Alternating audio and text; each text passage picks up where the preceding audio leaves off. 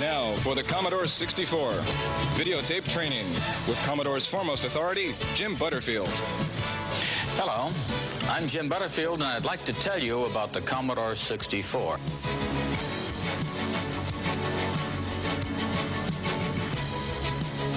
Fourteen exciting sessions on today's hottest selling home computer. Vital, up-to-date information to inform the novice and intrigue the experienced.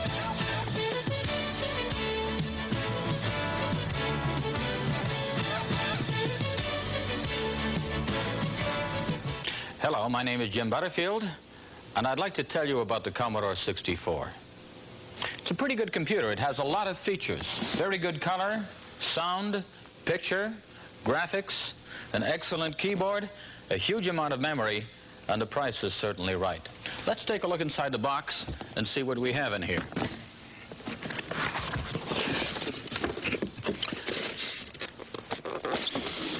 First thing you'll see when you open the box is the Commodore 64 itself. That's the whole computer. It looks just like a typewriter keyboard, but it's everything. All we need to do is to connect it up. Let's see what else we have in the box waiting for us. In here we have the Commodore 64 User's Guide. That's a very useful book. You'll need that. Don't throw it away. All sorts of cables and connectors in here. The first and most important is we need to be able to connect power into the computer. We'll do it through this transformer regulator device. But there's more. This cable is to connect from the computer almost to your TV set. In order to complete the connection to your television set, you'll need one more thing, an antenna switch, switch box, and this comes inside the box too. It has a little switch on it. We'll show you how to use it later. Let's put the box away.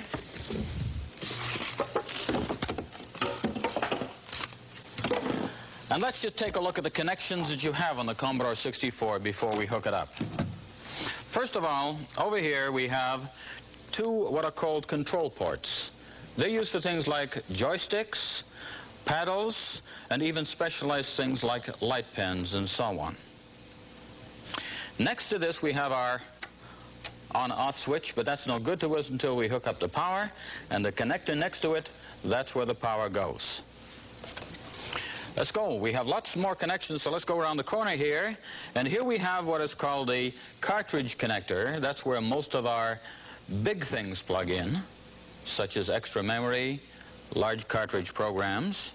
Next to it, we have a little channel selector. You can select either channel 3 or channel 4, depending on which channel is available in your television viewing area. And here is the connector that will hook up to our TV set. Continuing along there, sometimes you may have something a little classier than a TV set called a monitor. If you do, you don't want this connection. That's called an RF signal. You'll want the one next to it. That's a signal for a monitor called a video signal. We'll talk about that again in a moment. Next to it, this is called a serial bus connector. This one will hook up to devices like floppy disk, like uh, your printer, for example, uh, notice that one connector hooks up to everything. One connector serves all. But there's still more. The next one is where we connect our cassette tapes, our Commodore data set, as it's called now. This is a device you can use to store programs or data. We'll look at that in a moment too, but that's where it plugs in. And finally, we have what's called a user port. That can be used for anything you like, but the most common use is for a modem to plug in something for communications to other computers, to other cities. Okay, we finished our tour. Let's plug this machine in. We'll start with our power end. First of all, let's get all of these cables loose. And we'll take the rubber band off here. Okay, here we go. This is quite heavy, so put it on the floor somewhere convenient. This part plugs into the power connector we mentioned previously. Let's take a look at that, and here we go. Okay, now this part will plug into our power plug in the floor. We'll hook that up a little later. The only thing left now is to hook up our TV set. Here we have quite a long cable. So if you have a big TV set, you can stand well back from it. There's a, long, a lot of distance here. Once again, the place we hook it up, on the back, TV sets plug into this connector here called the RF connector, and this is what goes to the TV set itself. But first, the antenna switch box. We plug it in there, and if we want to watch TV, we can hook our antenna there. If, for watching TV, we switch over to our antenna. For, for using the computer, we switch over to computer. Either way, the signal comes in and hooks onto the back of our television set. Here, let's turn our computer around again, and we'll hook things into the back of our TV set on the little screw terminals that you always find there. Okay, and there we go. By the way, there are some sorts of television sets that have an unusual antenna connection. Instead of the two screw connections, you'll find a little what's called a 75 ohm connection. If you have that, you can buy a little adapter at your television store to do the job on there. Now, that's all we need for our minimum computer setup. Uh, the things that come in the box and your home television set. But if you want to, you can spend extra money and you can get a more deluxe version of the 64. You can add things to it. I'd like to talk to some, about some of those. Let's move over to the desk here and talk about what we have here. First of all, this is not a television set. This is called a monitor. About the only way you can tell the difference is that this one doesn't really have a tuner. You can't select which channel you want to watch because it isn't designed to watch television. Instead, it gets the signal directly from, on the different connector, directly from the Commodore 64, and it plugs into the video connector on the front to give you a much better quality picture. Now, this particular monitor is a Commodore 1701, and besides the regular video connector, there are some extra connections on the back which give you very, very good quality picture. If you have a Commodore 64 and this Commodore video monitor, do try to get a special cable. It doesn't come in the box. Try to get a special cable to hook up to the connections on the back of your TV set. You'll get a much, much better picture. Just a marvelous picture. It's well worth the extra trouble to get the cable. Now, monitor costs extra money because you haven't got one of them sitting around your home all the time, but it does give you a better picture, and there's another advantage, and that is you won't have to fight over who's going to watch the soap operas and who's going to use the computer at any given time. You'll both have your own hookup, and there won't be any conflict there. Let's talk about some of the other things that we connect to a Commodore 64 computer. This is called a data set it's a type of cassette recorder, and what it con contains when we open it up is a conventional cassette tape, very much like the tapes that you'd use for, for example, recording music. They're identical tapes, but the information on them is not music, it's programs or it's computer data. This is one of the ways of storing programs and data. A different way is to use what's called a floppy disk drive, which is this device over here. This one holds its information, once again magnetically, but on a device which is called a floppy disk. You can hold a great deal of information on a floppy disk, and you can recall it very, very quickly if you want to. But when you have a floppy disk system, you have to pay a fair amount of money. And so if you're economy-minded, you'll probably go over to the cassette if, on the other hand, you want the deluxe version for storing programs, you'll probably pay extra and go for the disk. It's your choice, and in fact, you can have both.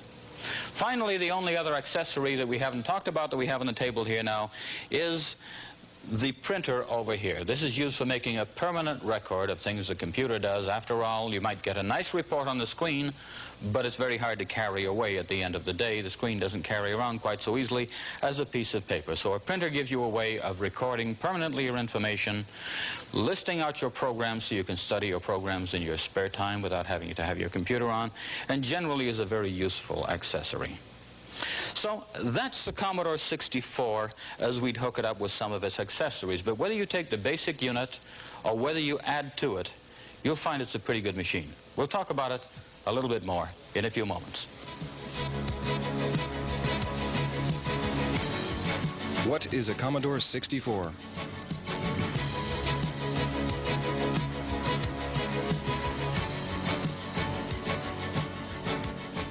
I'd like to talk about using the computer, the first steps, but first of all I'd like to show you what's inside your Commodore 64.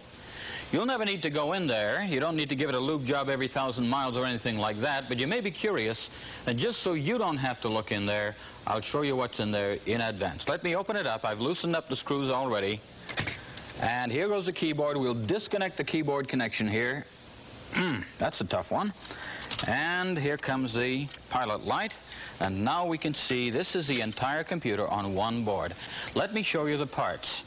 Here we have the 6510 microprocessor.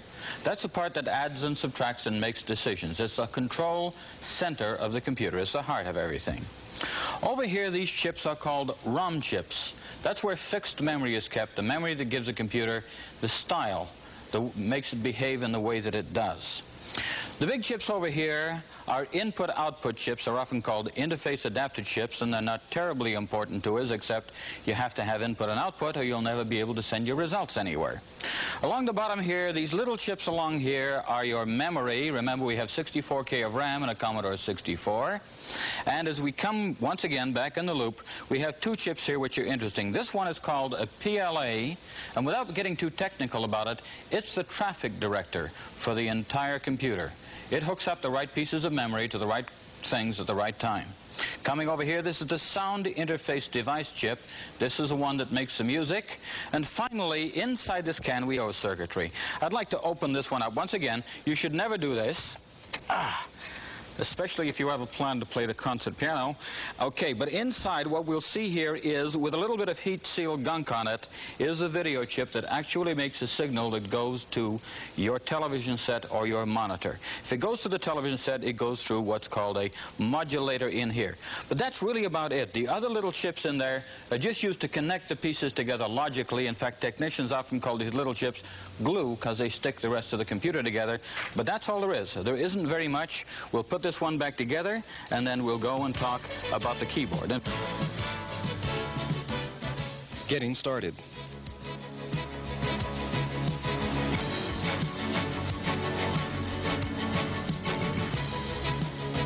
Before we start on the details of the keyboard, there's a couple of things on the screen when you first turn on your Commodore 64 that I'd like to discuss. First of all, you'll notice at the top of the screen there's a message that says Commodore 64 Basic V2, 64K RAM system, 38,911 basic bytes free. Now you might wonder about that. It seems that you have 64K machine, which is 64,000 bytes of memory, and yet you're being told that you have slightly less than 39,000 bytes available. Well, that's really correct. There's nothing wrong with your machine, and there's nothing missing and you don't have to look for the parts that fell out of the box. It's all there. What happens is that BASIC itself only needs about 39,000 bytes. The extra memory is still there, but it's reserved for other uses. And you'll find that there'll be other things that you can use that memory for. 39,000 is, is plenty for the average program. Now the second thing that you'll see on the screen of your computer is a flashing square. That's called a cursor, and it tells you two things. The first thing it says is the computer is waiting for you to type. And the second thing it says is when you type, that's where the character which you type will appear. And as you type, the cursor will move along to the next position so that you'll see wherever it is that the next character will go as you type it, you'll see where that will be. So it's an invitation and it's a location for you. And it's called a cursor. Now let's talk about this keyboard here. We have here that looks very much like a conventional typewriter keyboard. It has all of those letters in the center that you can never find on a typewriter and you're going to have a good time looking for on your 64 computer. At the top you have the numeric characters, similar to on most typewriters. At the bottom is a space bar, and then we have much of the punctuation gathered around it. Now, if I decide to type, I can type a number 457, or if I decide to, I can type a bunch of characters, A, S, D, F, G, H, a very popular word. Okay, and what happens is the characters, as I type them, appear as capital letters. Now, that's quite all right, but I'd like to talk about the next most important key on the keyboard, and that is over here, there's a key marked return. Now, what this key means is really do it. If I press that key, whatever I have just typed, the computer will try to do it. Now, at the moment, I haven't typed anything very sensible on the computer screen, and so if I press return, perhaps the computer might print some error message. It tries to do it and it can't do it. Or perhaps it will do something not very sensible. It's very useful to know that we have, when we have this return key, if we don't want to do something, but just want to go to the next line, you may hold down the shift key here, and then press the return key, and that says don't do it, just go to the next line. So return says do it, shifted return says just go to the next line, don't try to do anything that we had there. Now, there are several other important keys here, but the ones that I'd like to just mention briefly in passing is the function keys, who, which puzzle a lot of Commodore 64 users. They don't seem to do anything, and in fact, at the moment, they really don't do anything. They are there for your programs to recognize. When we write a program or when we obtain a program from other places, that program will often say, press this key for this effect, press this other key for a different effect.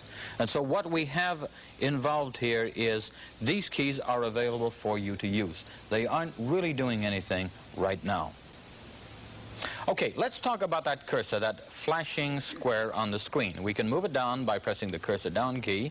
Uh, there it moved a couple of spaces, but if we hold down the key, the cursor will continue to move. We can move it to the right by pressing the cursor right key, or we can hold it down and it will continue to move. By shifting, we can move the cursor up or to the left. And finally, near the top, we have a key which will home the cursor. The key is marked clear home. If we press it, the cursor goes to its home position, the upper left-hand part of the screen. On the other hand, if we hold on Shift and press the Home key, it now becomes a clear key, and we will clear the screen. A very useful thing to do when you've got a lot of junk on the screen and you want to start over. Here we go. We have now cleared the screen on the computer. Now, at the moment, what we've been doing is we've been typing alphabetical letters on the uh, computer. And we notice that we have a shift key. Actually, there are two, one on the left and one on the right. And we hold down the shift key. We're already typing capital letters, so we won't go from small letters to capitals. We're already there. When we hold down the shift key, what we will do is we will type special graphics characters. You'll see them on the front of the key. If I press an A key, for example, holding down the shift, I will see a little spade character. Or if I print the S key holding down the shift, I will see a little heart character. So if you want to write a little program to play card games, there are at least two of your suits. Now there are other graphics. In fact, there are two graphics drawn on the front of most keys.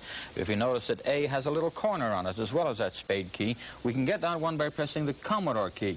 That's the key with a little Commodore logo to the left of the shift key. I'll hold that down and we'll press that one and you'll see that the other graphic comes out when I press the A key. So that's the second kind of shift key. Now, let me press the Don't Do It key by holding down Shift and Return. And now let's try something a little bit different because there's a new feature of the screen that many people don't know about until they stumble across it by accident.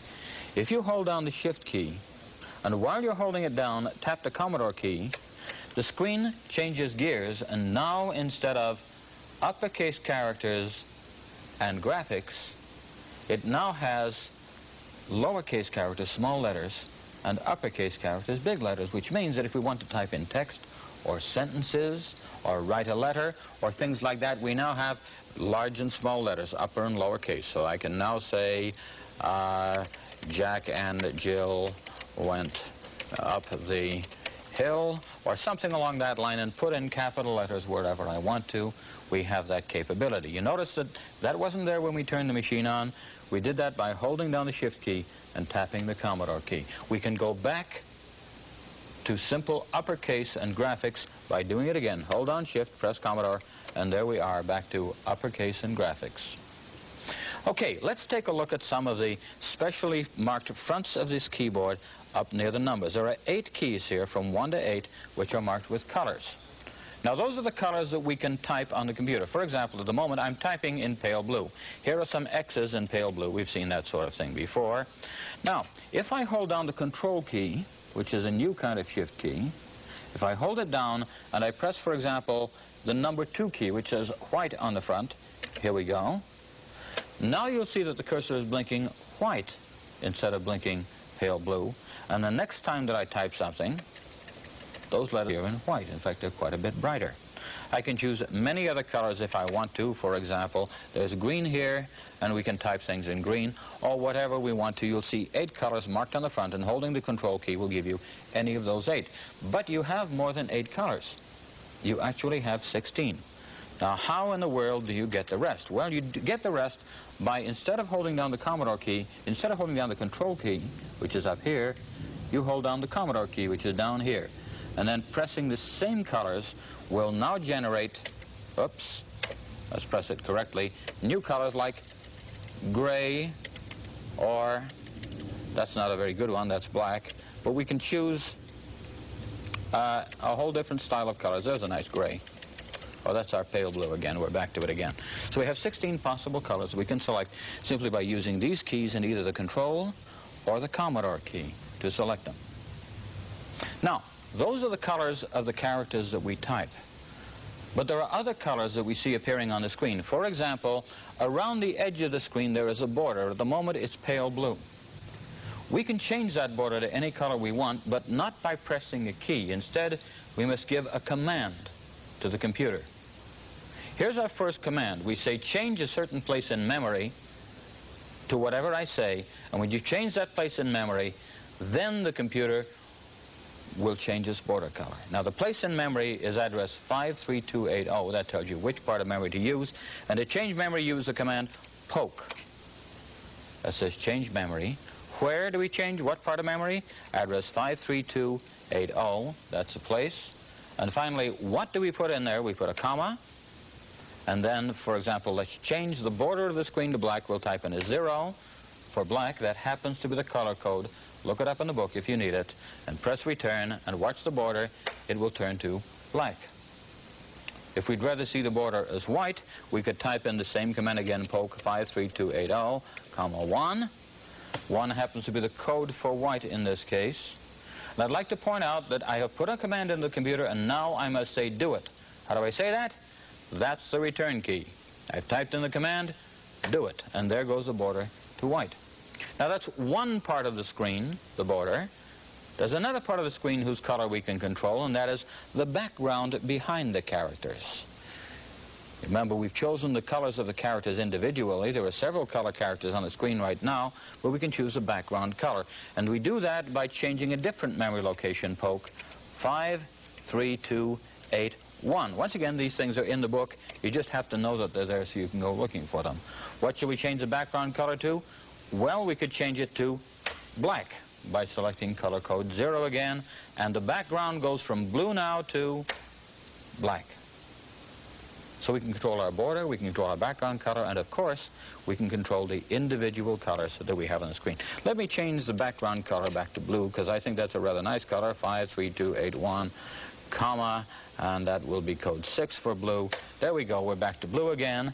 And now, let's talk about the last couple of things on giving commands to the computer. You see, we've given a command, we typed in the command, we finished it, but it didn't do it until we pressed return.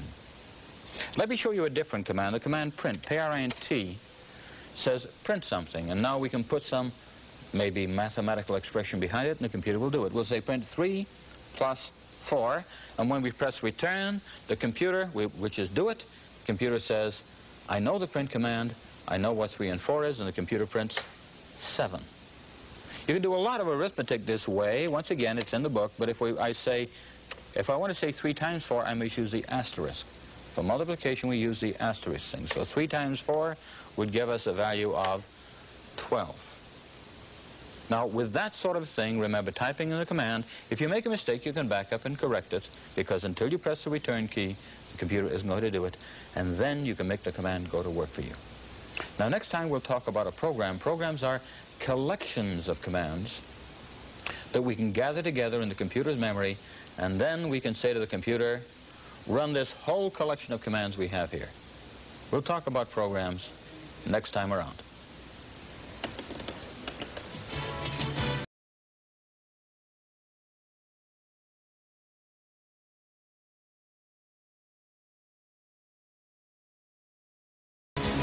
Don't have to write your own programs for the Commodore 64.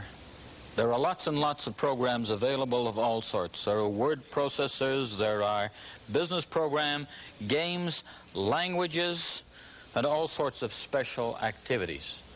Largely the ones that you buy come in three forms. First kind of form is in a ROM pack. This game, for example, Seawolf.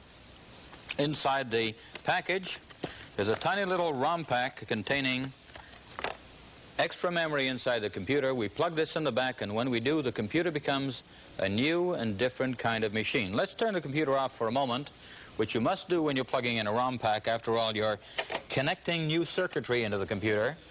We turn it back on again, and instantly the computer has the new images from Seawolf on its screen. As you can see, it didn't take any special commands. The moment we turned it on, the computer knew it was a new machine. The machine had been almost rebuilt by plugging in the ROM pack here. Let's turn this off for a moment. It would be fun to play the game, but we want to talk about the second way that programs can come pre-packaged or pre-available for you. If you have a data set, you can get a program on cassette tape. Let's put this cassette tape program into the computer. And in this case, when we turn the computer on, the easiest way to start a cassette program running is to hold down the shift key here and press run stop. Oddly enough, it should be the shift key closest to the run stop. The other one doesn't seem to work so well. So we hold on shift, we tap run stop, and now we see instructions on the screen, press play on tape. Well, here's the data set tape, and we see here's a play button, so we press it, and the computer says OK, and then almost instantly the screen blanks. This doesn't mean any kind of failure on the computer. It's simply the computer has shut the screen off so that it can watch tape more carefully. In a few seconds, it will have found this program on tape. It says found roots. That's not genealogy, that's square roots. And we press the Commodore key to say, OK, go and get it.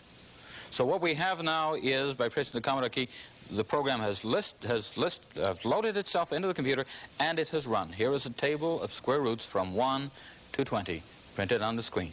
The program came from cassette tape, this one here.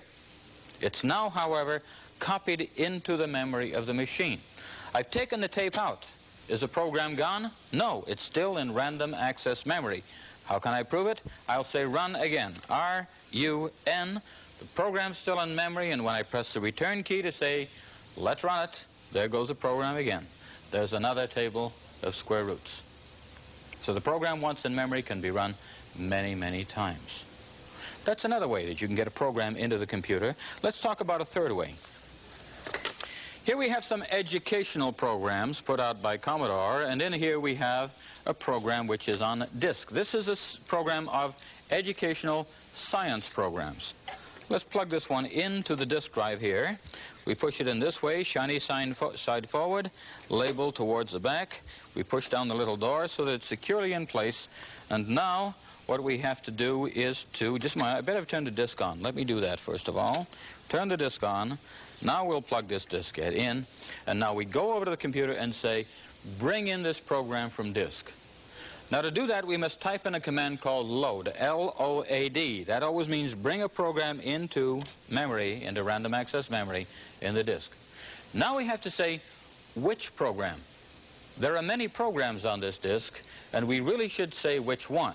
In fact, there's a little pamphlet comes along with this disk telling you what happens to be on this disk. But at the moment, if you don't know, here's a good tip for you. Instead of giving a name, just give a name of an asterisk. So I'll say load, which I've already typed, and then in quotation marks I'll type asterisk to say the first program, whatever it happens to be, and then behind that we'll say comma 8, which means from disk. When we typed it in, it looks correct on the screen, then we can press return, which is to do it, and here comes the program from disk. Now this is quite a large program. It's a fairly big educational program with animation, and so it will take a few seconds to come in. But you'll notice the difference between this and tape. First of all, the screen did not blank. Second of all, I have to give a name. I don't have to one tape because a tape might just have one program on it, or it will take the first one to come up. But the disk might have dozens of programs, and I often have to say which one. I snuck around to this time by saying the first one, but you often need to know what's on disk and which program to select. You can take it from the information that comes with disk, or in fact there's a way of asking the disk what's on this particular disk, and you'll get something called a directory or a catalog. Well, the program is now ready from disk, and that's pretty fast for a really big program. And now if we say run, what we see on the screen is the first display saying Commodore Educational Software, press the space bar. Here we go. We'll press the space bar. And now we're going to begin a program called Boyle's Law. So this has to do with gas pressure. And we'll press the one key, and the computer will say, Well, it draws a little picture of an amount of air trapped by a piston, okay? Give us instructions, tell us what we want to do, ask us what we want to do next. We'll press the space bar, it will ask us to set the pressure, but for the moment, we don't want to run this thing. Our, our objective here is not to learn about Boyle's law, but to learn about how we load programs, so we'll say, we don't want to do that, we'd rather quit, and we'll take option four that says give up, and then, whoops, type it in again. There we go. I was typing too fast, and the program is over. Now, just because I've stopped the program doesn't mean it's lost from memory. Let me review again. Except for cartridges which start to run almost immediately you put them in, there are two steps in making a program go. First, bringing it in. That calls for a load command, L-O-A-D. And secondly, once it's in, saying run. That is a command which says, whatever has arrived in memory, do it. Do this collection of instructions called a program. Now, we've stopped the program to show Boyle's law, but we could do it again. We could say, run, and since the program is still in memory, just because it's stopped doesn't mean it's gone away. If I press run and do it again, as I did with the cassette tape program, do you remember roots? The program will run again, and we'll get the same titling back. Now, apart from the programs that you can get commercially, you can also get programs in this form on disc, on cassette tape, from other sources, from clubs and from friends and from users. Many programs are generally available, are public domain. You won't have any problem getting them, but there are other sources you can go to if you want programs. For example, there are many books containing programs. If we pick up books here, we'll find that there are all sorts of programs for doing various things typed into the computer, and we could type in these program instructions, and the program would run. Similarly, even the Commodore 64 User's Guide, the one that comes packed in the box, contains programs that we may type into the computer and gives us examples of how we can make certain things happen. Let's see if we can find one here. Here's a program, for example, down this one. If we type in these instructions, then, and say run, we'll have a program in our computer. In fact, we have plenty of books of this sort, and we also have many magazines, some are published monthly, some not quite so often, which contain many, many programs of various things. All of these magazines are published with plenty of programs, and we can take these various magazines, put in the programs, and eventually we'll have a running program by typing these in. Now, one thing I'd like to point out to you, however, is these programs are pretty big. If you take a program like this one, for example, which is for the 64, it starts on this page and then continues through all of these pages through. You can see that's a lot of typing. Now, it's probably a very good game program, so you'll probably have quite a good time playing the game once you've typed it all in. But typing in that huge amount of material means a couple of problems. First of all, a lot of rather careful work.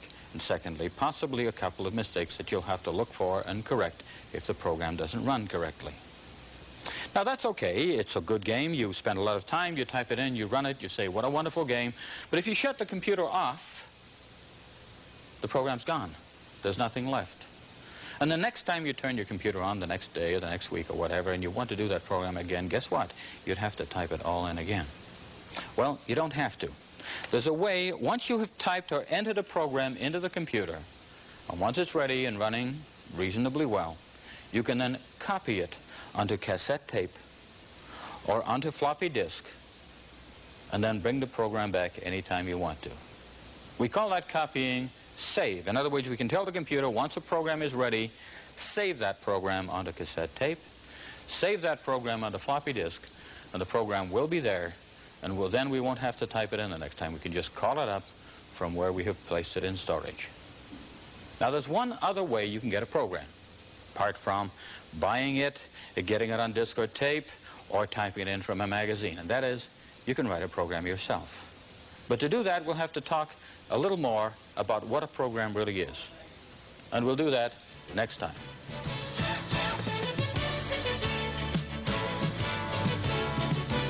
What makes programs work?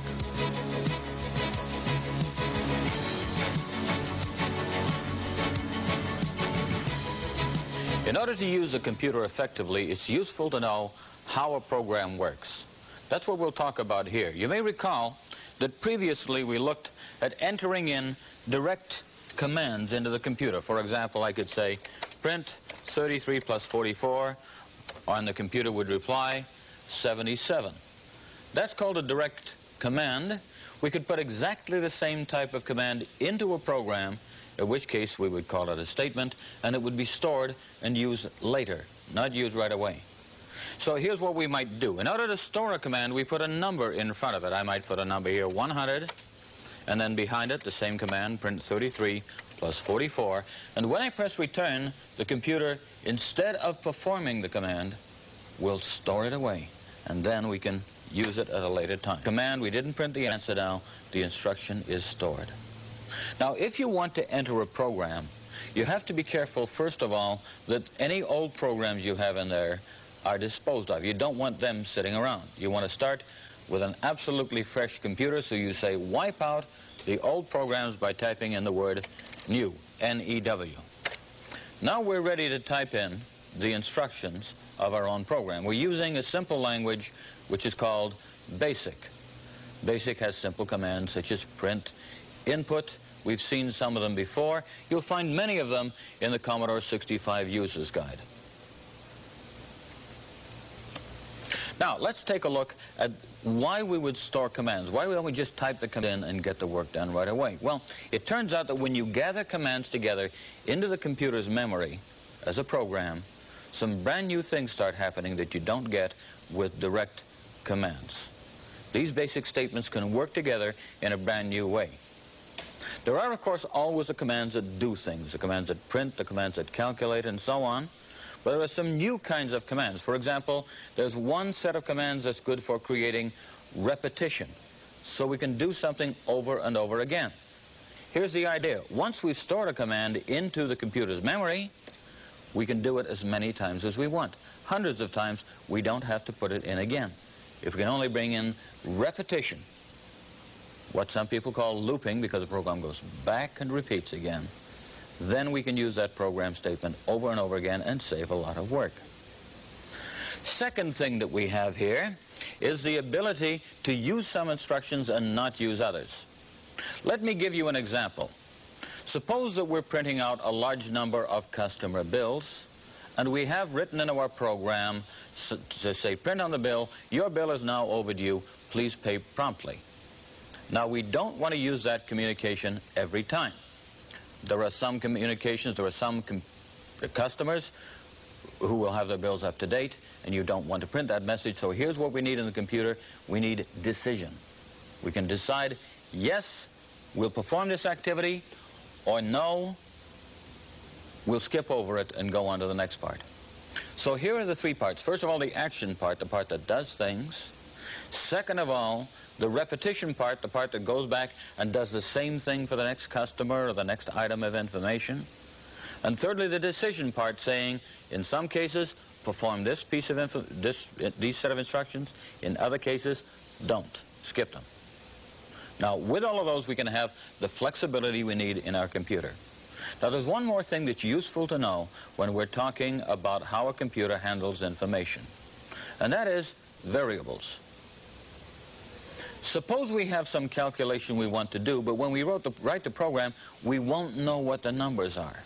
We won't know what the sales results are until they come in, and we're writing the program beforehand. We won't know the customer's name because the customer not, might not walk in until a month after we finish writing the program. So what we have to do in the program is we have to leave blanks in the program and say, we'll fill these blanks in later.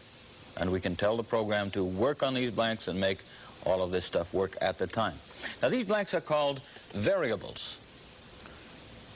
In BASIC, anything that we give a name to is a variable. For example, I can say x equals 123, and when I press return to say do that calculation, the variable called x will be stored somewhere in the computer's memory, and it will hold a value of 123. But any time later, we can say to the computer, print x, and the computer will look in its memory, find the variable or the blank we have filled in called x, and print its value 123. In fact, we can do more than that. We could say print x plus 100, And when the computer goes into its memory, it will print 223. It fetched the value of x and then performed the rest of the arithmetic. These variables, these things to be filled in later, are very important. If we didn't have them, the computer would always have to calculate on the same numbers every time. But there's more than numbers, there are also names. We can store names and addresses and codes and anything we want to in a non-numeric fashion. We call this kind of thing a string variable. Let me show you one. If I say x with a dollar sign behind it, what I mean is this is not a conventional variable for use in arithmetic. It's not a number. Instead, we have a name. Okay, let's take a look. We say x string equals, well, we can put in a name, Jim Butterfield. And once again, when I press return, the computer will say, okay, I'm now holding a filled-in blank area called x string, and filled into that space is a name, Jim Butterfield. Now, these things work together. With the blanks that we can fill in, called variables, and with the control features that we have, the repetition and the decision, we can write a program to do almost anything. In a moment, we'll talk about how we can fill programs into the computer.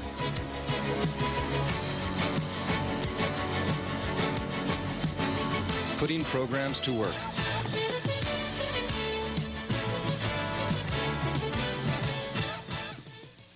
If you want to enter programs into the computer, either because you write them yourself or because you read them from a magazine or book, then there's a few things that would be useful for you to know.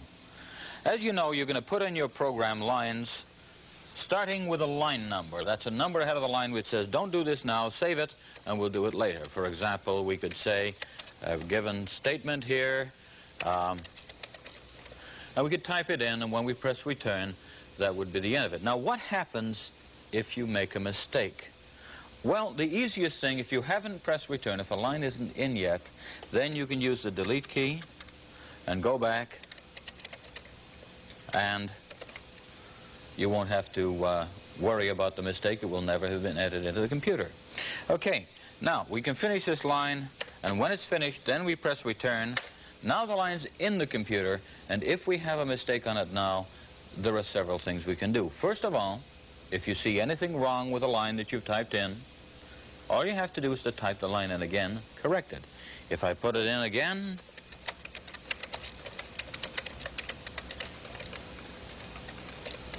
the moment I press return, the old line is removed and the new line that I've typed in will replace it. It recognizes that that's a line to be replaced because it carries the same number. The old line 100 is gone, the new one is there. In a moment, we'll talk about what happens if you miss out a line, but here's something that's very useful. Since you often forget to put a couple of things at the beginning of your program, it's usually fairly good to start with a moderately high line number, like 100. And since you may omit things that you need to do within your program, you should skip the numbers along, perhaps 10 at a time, starting at 100, going through 110, and so on. Let's type some more material in here. We'll type Okay.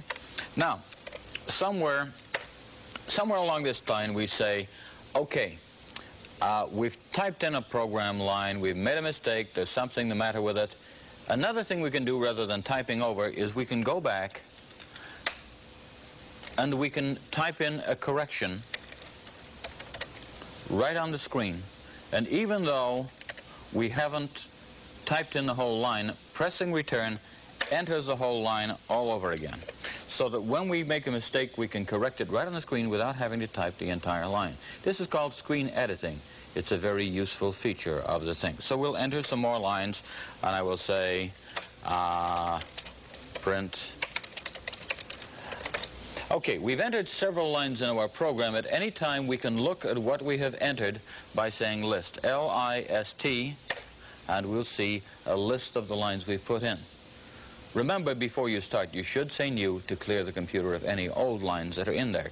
Now, if I decide I want to insert a line that I've missed in between, say, a couple of lines that are already on there, all I have to do is to pick a line number that's in between. To put a line between 110 and 115, for example, I'll, uh, 110 and 120, I'll enter a line 115.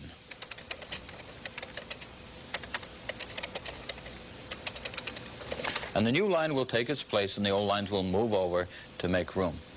One last thing, if for some reason you have a line of coding in there which is wrong, or you simply want to take out entirely, you can remove any line by typing in its line number and typing nothing behind it, just return. So if we don't want line 120, we type in 120 and then press return and that line is gone. Once again, at any time, we can list. Now, if this is our final program, there are several things that we can do. If the program is ready now, this is not a very big one, we can say run, and the program will run. That's a pretty short program and doesn't do anything terribly exciting. If we'd like to take away a copy of our program for study, and we have a printer, we can transfer a listing of that program to the printer. How to do it is in the book and in the printer guide. It's a rather curious series of statements where we have to first of all make a connection to the printer, and then we say, let's divert all of the things that would normally go to the screen, we'll divert them over to the printer instead. And now we're ready, we'll say list, and instead of listing to the screen, the computer will list to the printer. Here we go.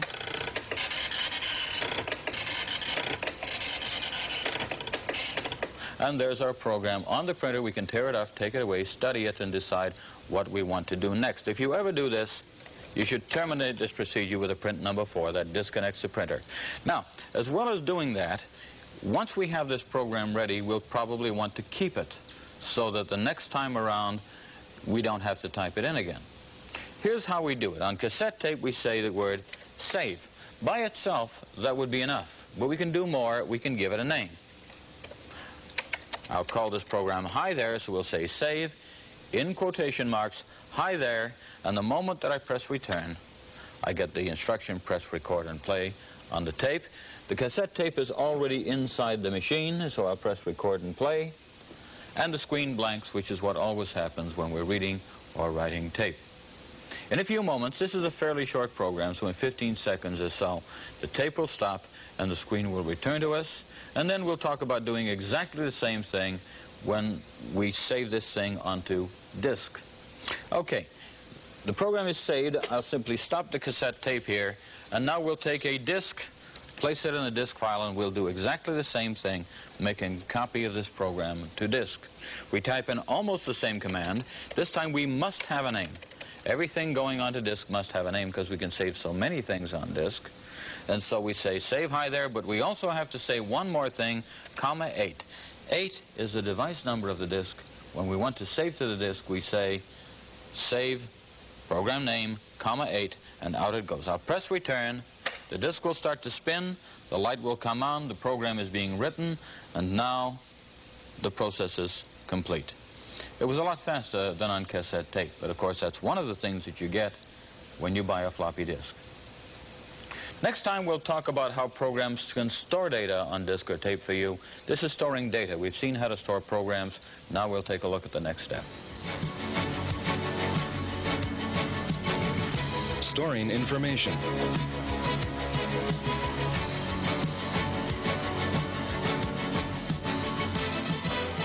This time I'd like to talk about how we store data so that we can use it later. We'll normally store it on floppy disk or cassette tape. There's an interesting difference between programs stored on disk and tape and data stored the same way. Programs tend to remain about the same. Once you've written a program, it shouldn't need changing unless you find there's a mistake in it or there's some change in your practice in doing whatever it is that you're doing and you need to keep a new kind of information. But your data files will be changing all the time as customers come and go, as they pay their accounts, as they charge new things, or as you add to your record library, or whatever you're keeping track of, your data files will be changing all the time. That's what they're there for. Okay? But they can be kept in exactly the same way as we keep programs on this sort of stuff. Now, I'd like to talk about the general setup of information stored on there. It's not just a formless mass of information. It's arranged in a certain way.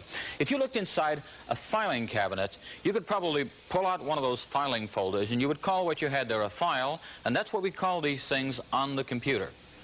Collections of information are called files but they do have a certain structure. If you open up your filing folders, you would see a number of sheets, each dealing with a certain sort of thing. It might deal with a student, it might deal with a customer, it might deal with a sale, it might deal with a book in your library.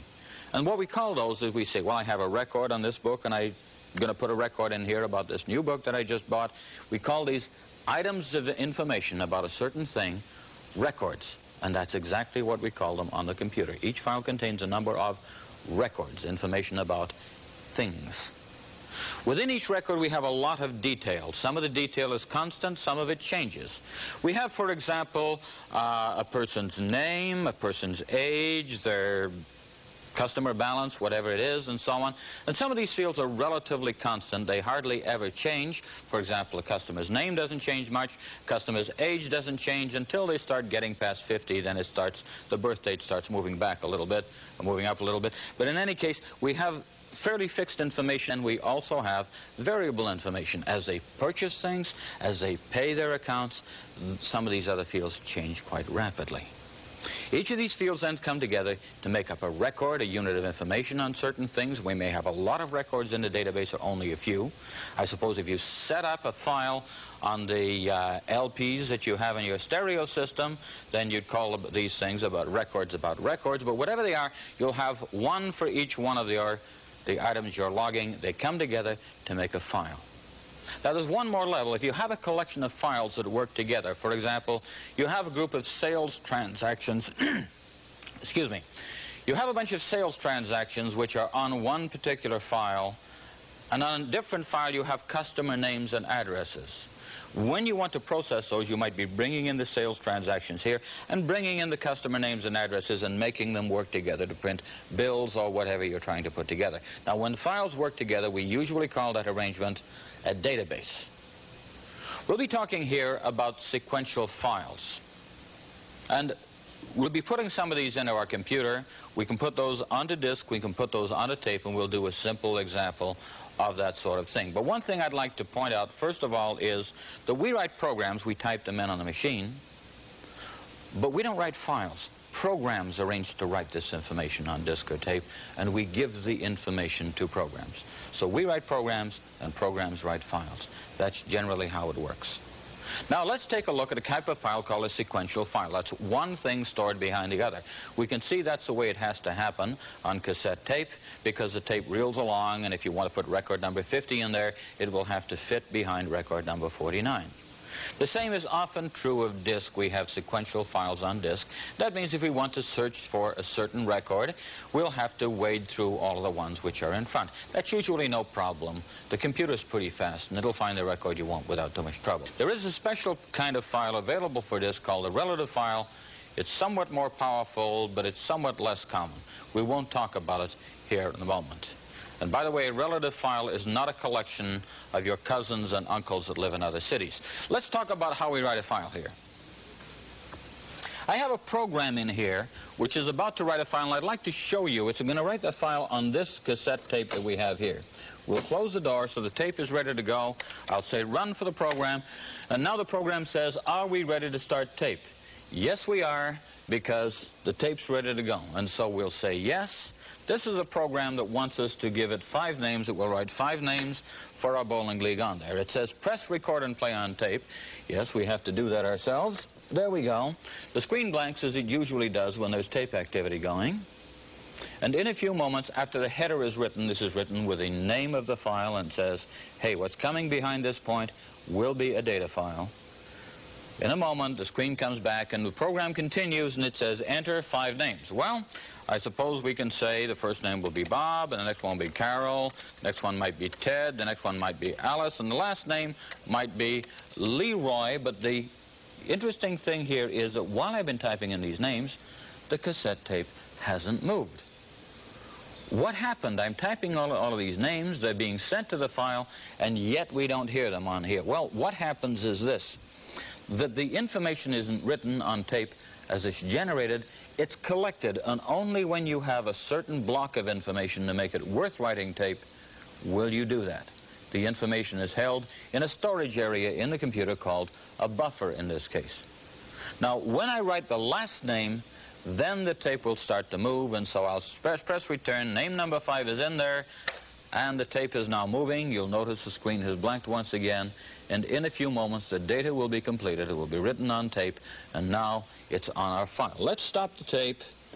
Let's rewind it. and take it out for the moment. That data is written here now. Even if I turn off my computer, we can bring it back from that magnetic tape anytime we want to. Okay? It's relatively permanent. Now, let's see if we can read it back in. The computer program said we'd like to rewind it and play back, and I'll say, sure, I want to do that. It says now press play on tape, not play and record. And now it will take a little time. First of all, the cassette tape has to look for the program header. Remember, we wrote a header with the name of that data file on it. And after that, it will then go for the block that contains the data, bring it back, and print it on the screen. Okay, we've just finished going by the header. In another seven or eight seconds or so, we will have our data back from that cassette tape. And here it is, Bob Carol, Ted Allison, Leroy. We have stored it on tape. We have brought it back successfully. Once again, we'll stop and rewind the tape. Okay, what have we found out from that? Well, that we can write information quite successfully to a cassette tape. We can do almost exactly the same thing to disk. This is a data file. It is no longer a program file, but it writes in approximately the same way. We should keep very closely in mind what we have going here in terms of the structure of a file. In this case, we have only one field inside the record, just a name, and that's each record. This could be our bowling team if, for example, uh, Ted decided to opt out. We could replace that name and write a new file and so on because files are made to be changed as are needed. That's enough about file for the moment. Next thing I'd like to talk about is a Commodore 64 used as a tool for education and learning.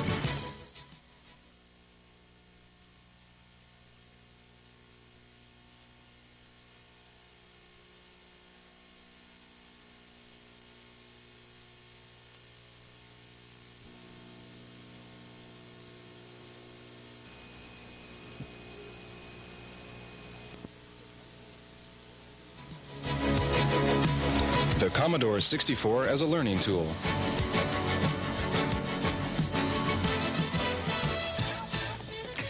Computers are often good in a classroom environment. Certainly there's a lot of excitement in education. Students seem to like computers. Very often the most common thing we see computers used for is drill and practice. A computer puts a question to the student, the student answers the question, then another question gets placed and so on. If the student gives an incorrect answer, perhaps the correct answer will be shown. This sort of thing is called Computer Assisted Instruction, which is abbreviated CAI.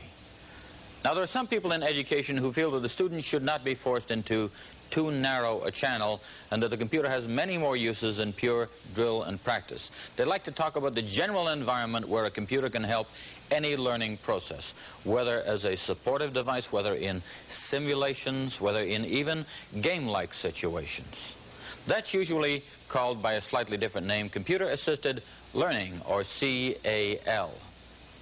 Whichever way you go, the teacher in the classroom now finds himself or herself in a rather strange position. First of all, you have great enthusiasm, great energy on the part of their students. But the teachers themselves feel that it's perhaps difficult for them to learn to be expert programmers in order to deal with the material that they want to teach. What can they do? Should teachers become programmers? Should programmers become teachers? It's not an easy question to answer. The average classroom teacher does have a few things to do. The teacher can buy teaching programs, buy software which can be used in the classroom if suitable material can be found. The teacher can even challenge students to prepare the material and try Uh, let's say, let's have a contest and say whoever can write the best teaching program gets a prize. They get to write another one. Something useful like that. You'd be surprised at what a reward that can be for students. And finally, there are some attempts to make teaching or preparing teaching materials on a computer easier. There are specialized languages such as Pilot in which you really don't know how, how to program. All you have to know is how to go about preparing the material, plug it in, and Pilot will organize the presentation for the students. It's not really programming, it's organizing material. But perhaps, once again, Pilot often causes teachers to force their information into too tight a channel. Now, we'll talk about games and simulations and other things that are very good in the learning environment in a moment. But what I'd like to talk about now is that it's probably always best if a student has a large range of options. If a student is simply being forced to put in simple canned replies, there's less interest in there, and perhaps there's less excitement. Perhaps we're throwing away some of the good things the students bring. Let me see if I can show you a simple drill program which is organized so that it allows the student to exercise certain options as desired. This is a simple example of an addition program. We'll say run, and the program says this is a simple addition 4 plus 7. Now here, we're using the four function keys on the right-hand side of the computer. At the bottom of the screen, they're identified. The function 1 is called a help key. If you don't know the answer, you press that key. The question here is 4 plus 7. If we press the F1 key, the answer 11 will appear on the screen, and now a new program is set in there. Anytime we want to try our hand doing it, 8 plus 6, well, perhaps that's uh, 14. We can type in the answer, and we're identified, yes, it's correct. 7 and 3, we're trying 9. No, that's wrong. And the border of the screen changes color for the moment so we can see visibly that something's happening here. We could also have sound to give us an audible signal that something is wrong here. Now, that's one of the things that we can do. We can ask the computer for the answer anytime we're still trying to learn. We still really don't know how to do this sort of thing.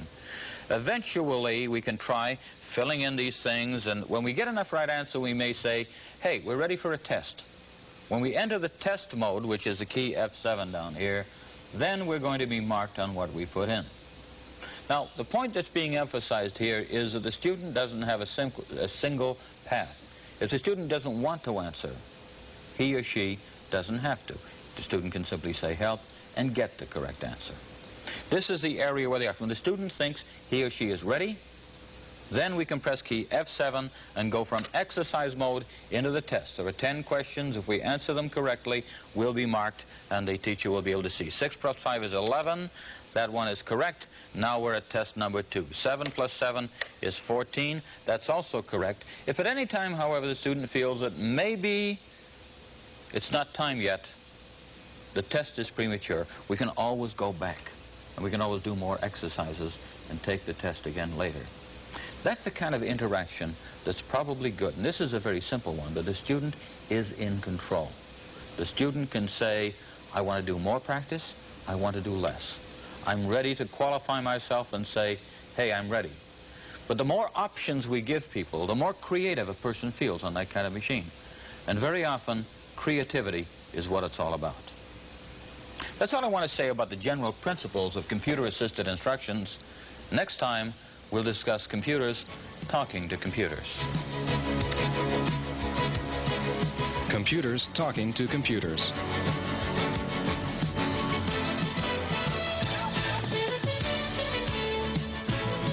A computer seems to be an isolated little device.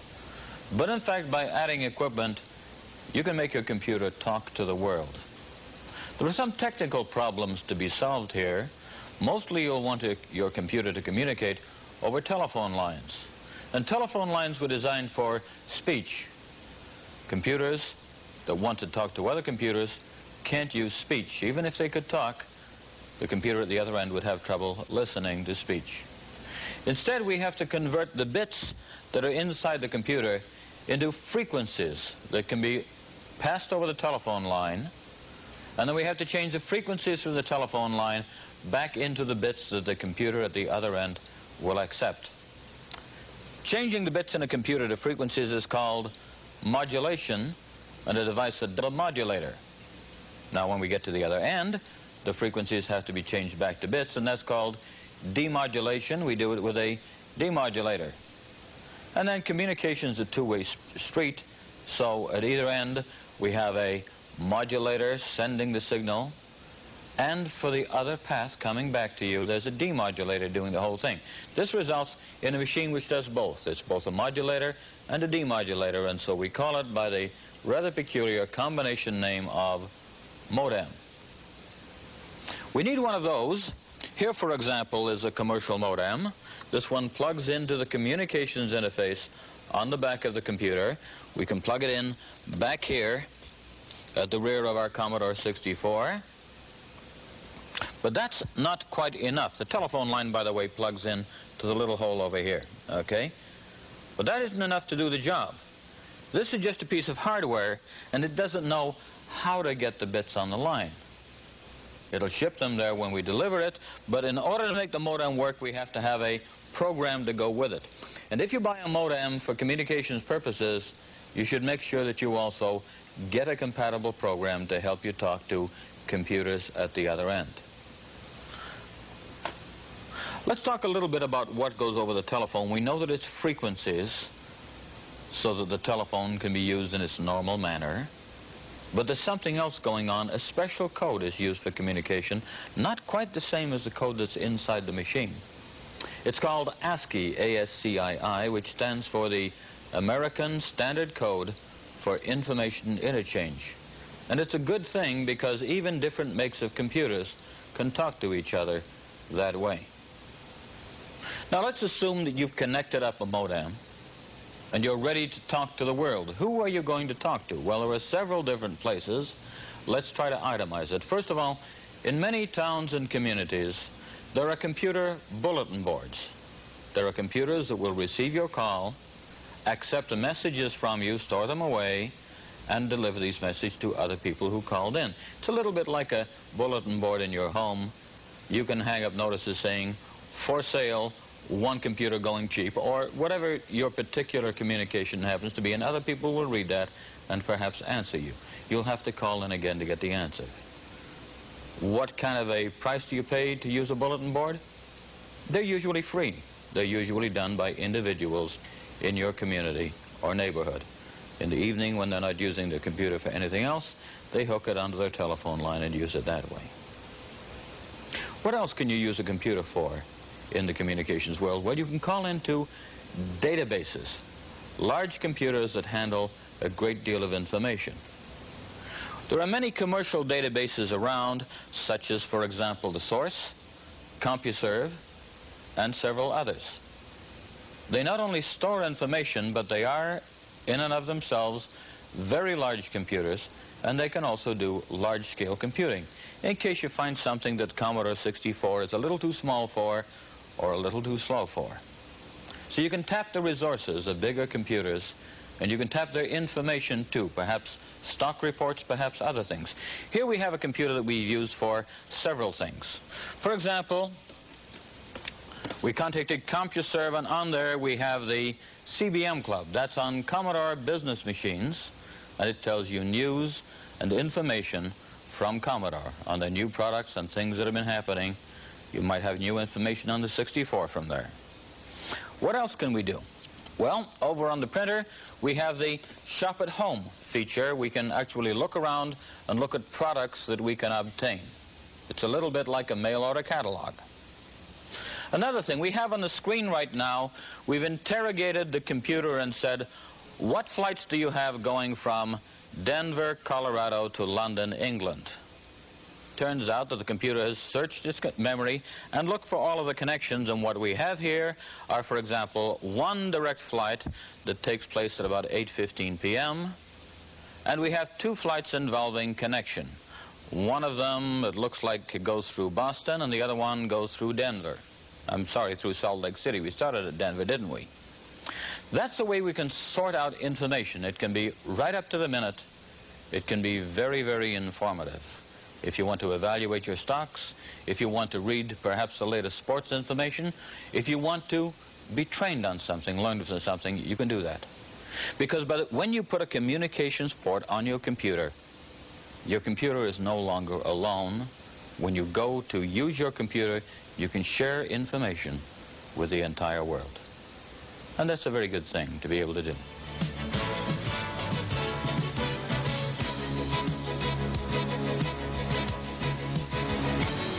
Commodore 64 language. Many people are confused by computer languages. You don't need to be. Computer languages are just the ways that we write programs for the computer. And in fact, as a beginner, you'll use the languages that come with the machine. We'll talk about other languages later, but first I'd like to make an important distinction.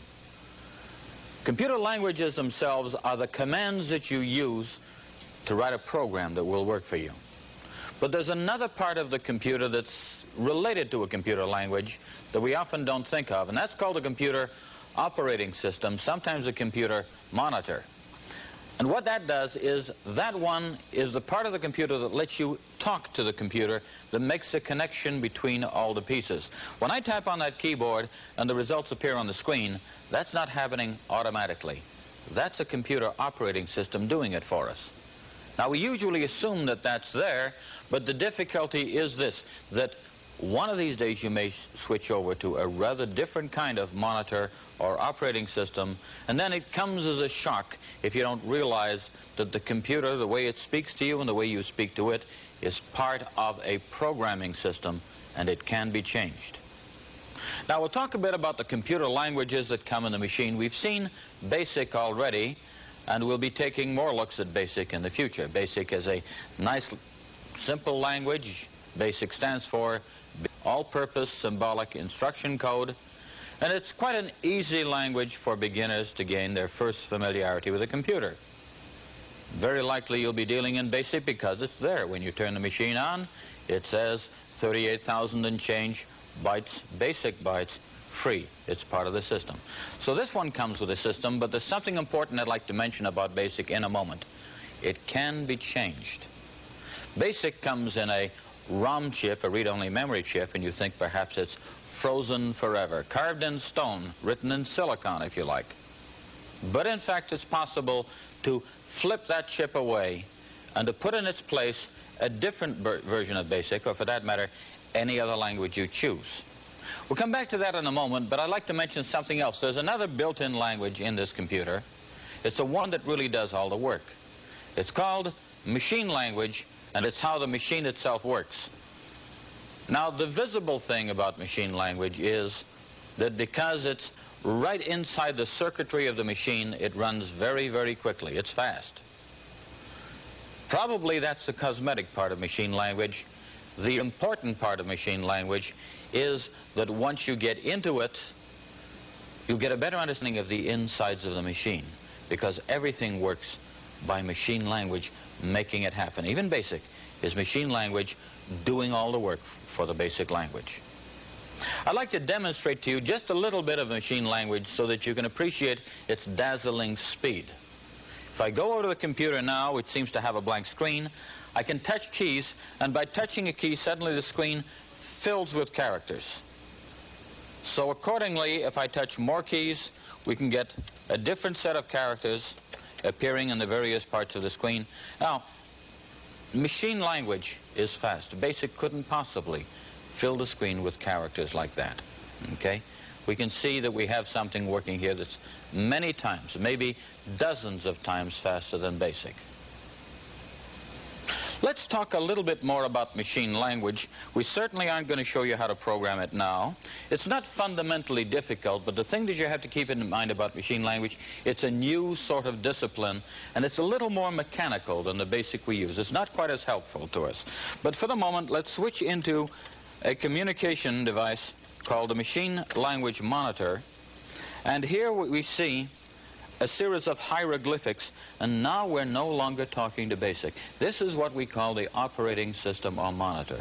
We're talking to the insides of the machine. If I want to display memory, I don't say peek anymore. If I want to print something, I don't say print anymore. I must know the communications language that I have to use here. I suddenly have lost all of my usual basic communications. I'll do a simple memory display That happens to be our program, but unless you've had quite a bit of practice, you're really going to have a lot of trouble reading it.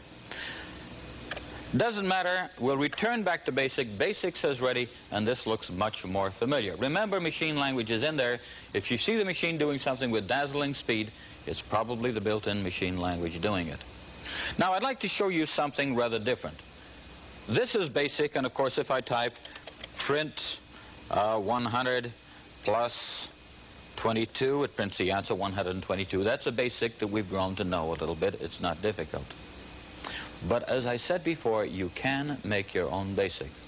Without having to bring in anything from the outside, without having to plug anything into the back of the machine, we can flip the old BASIC away and bring in a different BASIC. I've prepared a very slightly different version of BASIC in the machine, and if I flip away the standard BASIC, my BASIC, which is already stored in this machine, will come to the fore. Let me change that with a simple poke.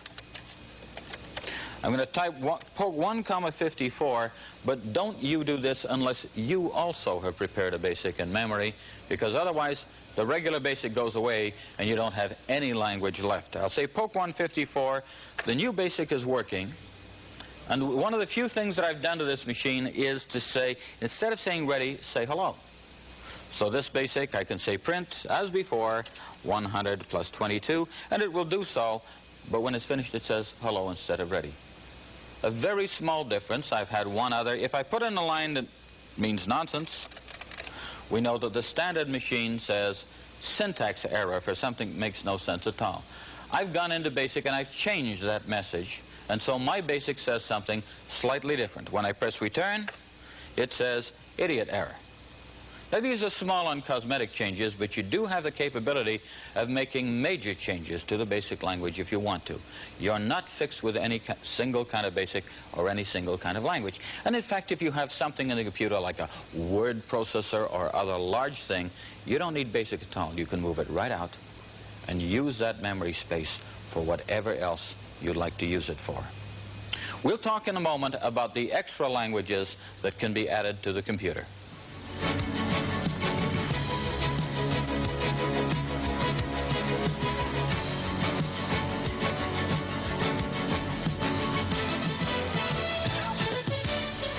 We've talked about the languages that are built into your Commodore 64 microcomputer. But there are languages that you can also add to the microcomputer that are not built in already. I'd like to talk about a few of them. First of all, I'd like to talk about something that is really not a computer language. It's an operating system. That's CP/M. It stands for Control Program Microprocessor. And it's an operating system that is, it's not a language to write programs in. It's a way to communicate with a computer to make it work. Quite different from the one that you've seen before. Now, let's take a look at a CP/M system. We have one built into the computer here now. It's similar to programming systems used on other large microprocessor computers, and therefore there may be programs you can buy which fit on these other computers that will also work on the Commodore CP/M system. It's a transferability of program type of system. There's a lot of computers which use CP/M. Let's take a look at what we have here. Now we have a CP/M system. There's quite a different message on the screen. It says Commodore 64 44K CP/M system. And it has two copyright statements on it. But the interesting thing is you can tell it's not basic because it doesn't say ready. Instead, what it prints is a capital letter A followed by a greater than sign that looks a bit like an arrow. And what you'd find is that all of the communications we've learned for BASIC don't work on this system.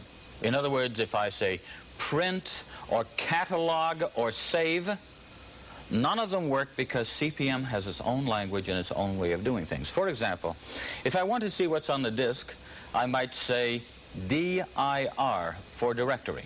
That's what I have to type in, dir, not catalog. I'm doing this and now a CP/M directory, which looks quite a bit different from a basic directory, is appearing on the screen.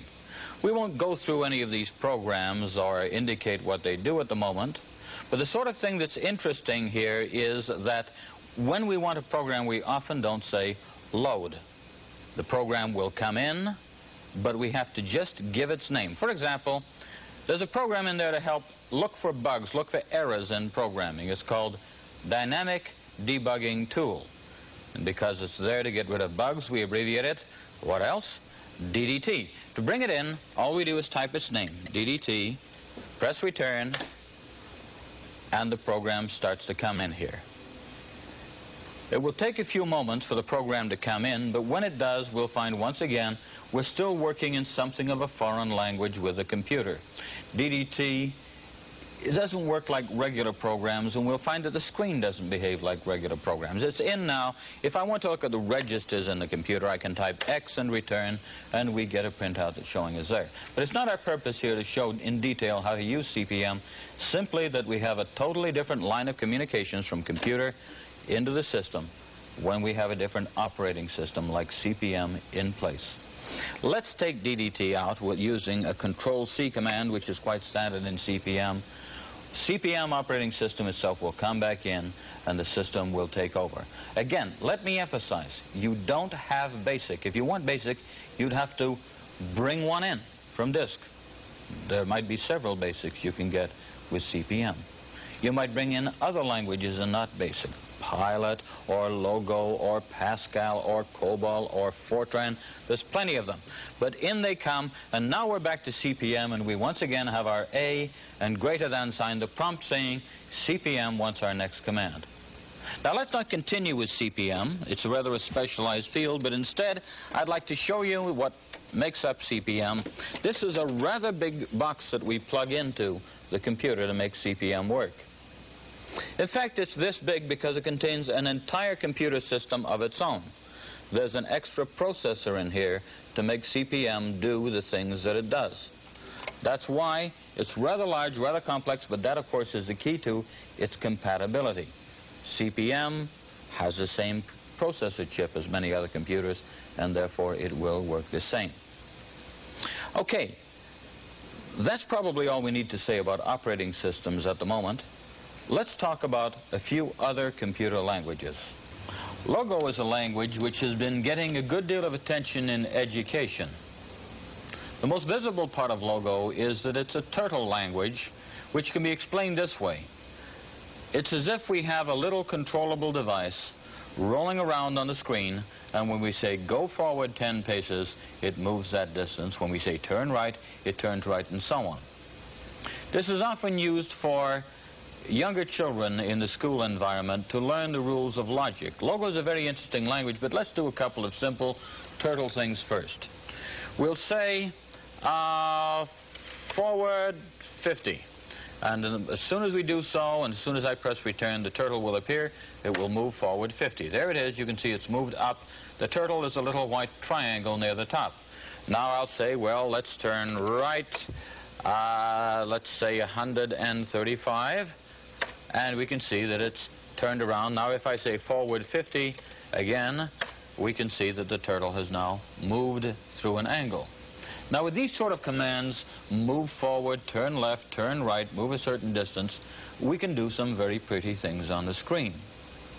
In particular, if we want to, we can build pre-written routines to do certain things. For example, if I say to the computer, Whoops, if I must spell it correctly, however, triangle, the computer will draw a triangle on the spot. It will move forward the right distance, turn to the right angle, and do several other things. The definition of a triangle is involved in this case with the definition of a number of angles, but we have, we can see that definition if we want to, but the important thing is that if we have something called triangle, we can call it several times. Let me call triangle and there's a triangle. Let me call it again. The turtle has moved slightly. If I call it again, it will draw a triangle in a slightly offset position. And again, triangle, and you can see we're starting to build a sort of pattern. This is a sort of thing that can be very enriching for younger children. They can work around with various sort of diagrams. We'll complete this triangle, which I think we call a star. And here we go, drawing a series of triangles so they come together like a fan, a wheel, or a sort of very highly multi-pointed star. There it is. We could also draw other figures. For example, we have one composed of a number of circles. If we say circle, there is a circle being drawn from the turtle starting point. If we want to draw a series of circles, we could ask for, say, a flower, which is a series of inter. There goes the first circle. The turtle will shift and draw another one, and you can see that something which is rather flower-like is being drawn on the screen. Now, these are all very nice, but what's the point of it? Well, first of all, it teaches children the ideas behind logic.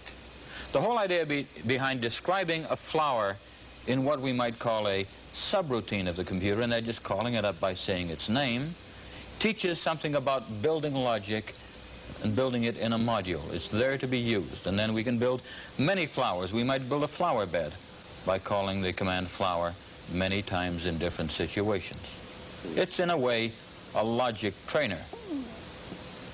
There are other turtle programs, such as, for example, the Turtle Graphics Package turned out by HES. Logo is particularly an interesting language in that it's based on a much older language called Lisp. LISP stands for List Processing Language, and it's a language of how things interrelate. LISP is traditionally the language of artificial intelligence. That's a whole story in itself. But what we really have here is a very sound language with some very interesting trimmings on it, mostly used in education. Let's touch, just talk for a moment about some of the other languages that you can get for the Commodore 64. We can get some through CP/M, as we mentioned before, and there are also languages such as Pascal, which is a very formalized computer language, uh, Pilot, which is an authoring language for educators, as we've mentioned before. We've talked about Logo. There's a new language from Denmark called COMAL, which combines the ease of BASIC with the power of a language like Pascal. And there are many, many others. Why would you pick another language beside BASIC? Largely because you have a certain job to do, and other languages are better suited for the job that you're after. For most of us beginners, the thing that we need to know is that Basic comes with it. Basic's probably a good way to start. There's always that powerful thing called machine language on the inside. But finally, if you find that BASIC, for some reason, doesn't measure up to a certain job you have, there are other languages available. You can take BASIC out, you can plug the new languages in.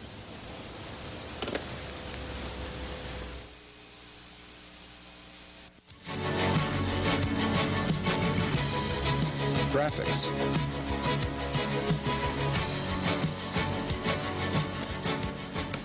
Graphics is a very interesting characteristic of the Commodore 64.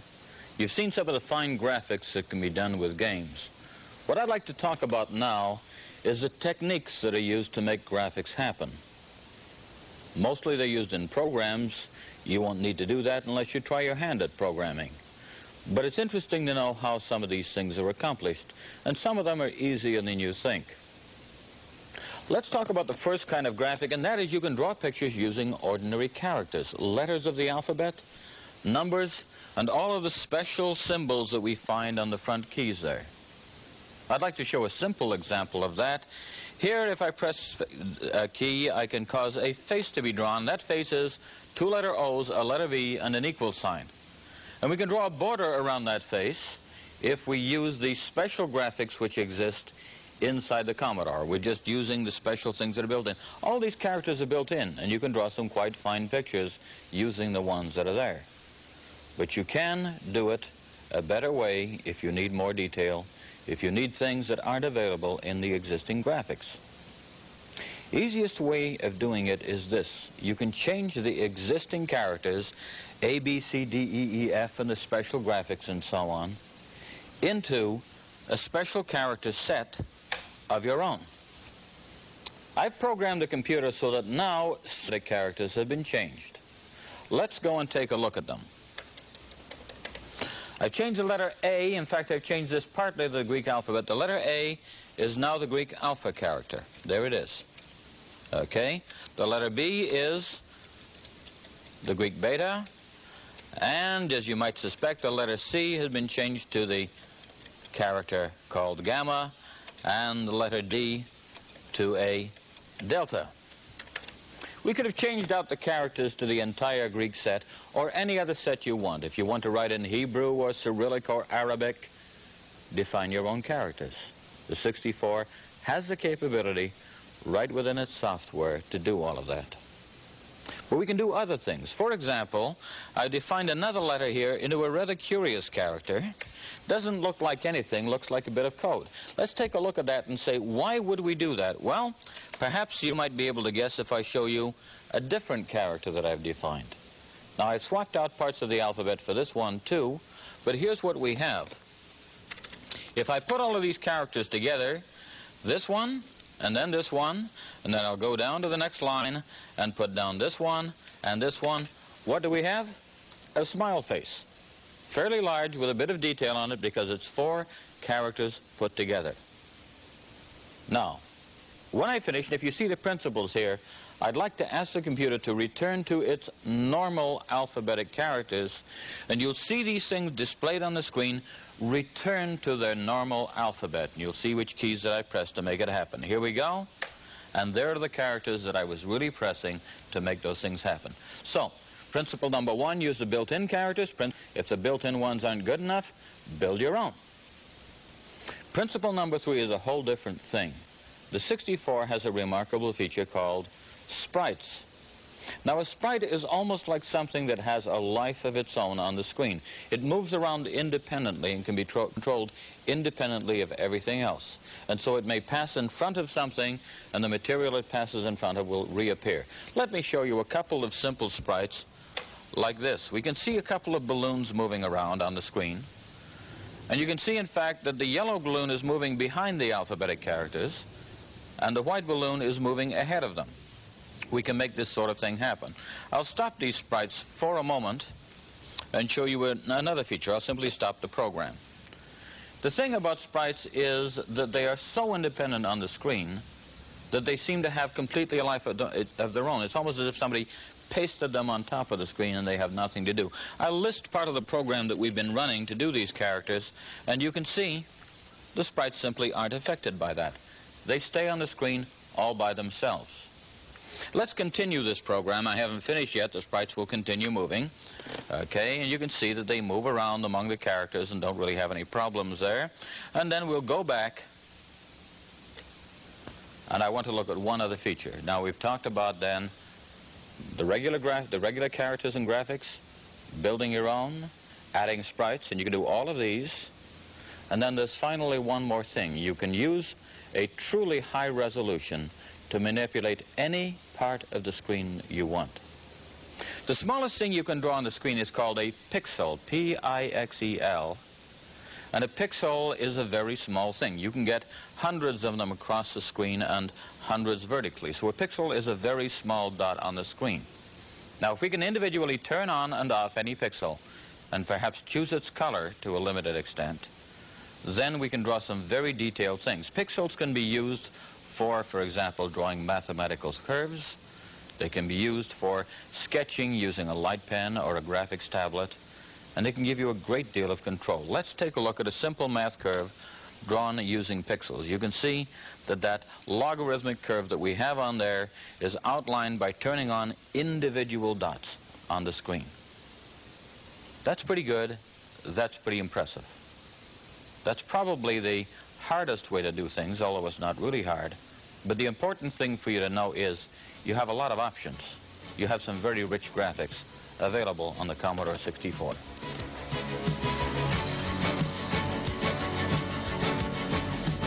Commodore 64 working for you.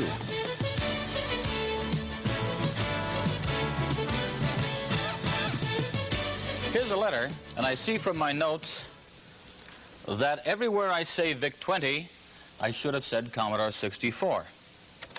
Let me call up that feature and say, I want to change and replace every place that says VIC-20 to Commodore 64. It says more. No, that's all I want to do, and let's simply do it. And here we go.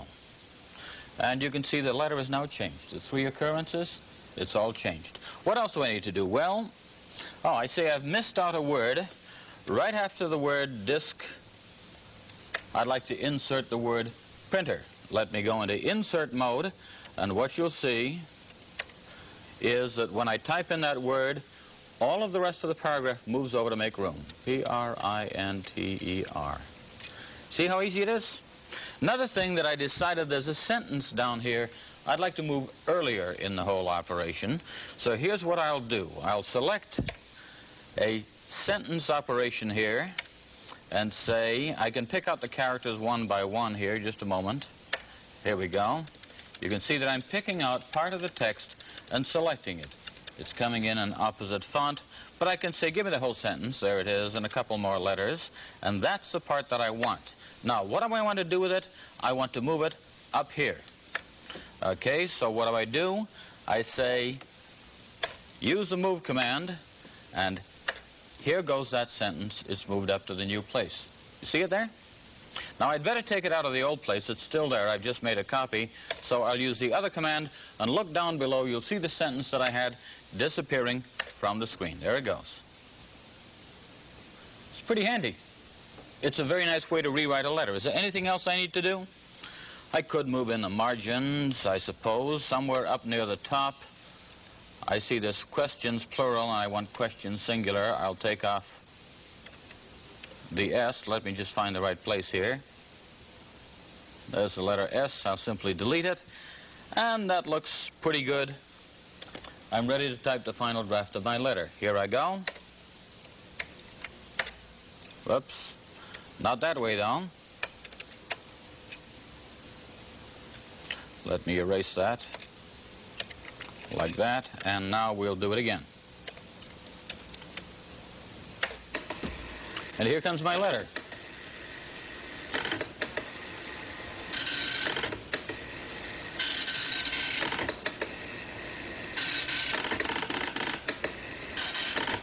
I'll stop the letter now because we don't want to see the whole thing print, but let's talk about some I've used a word processor. The document that I composed is saved onto disk. I can bring it back into the computer's memory, change it, change around complete words and phrases, substitute one word for the other. Mr. Smith could become Mr. Jones, for example.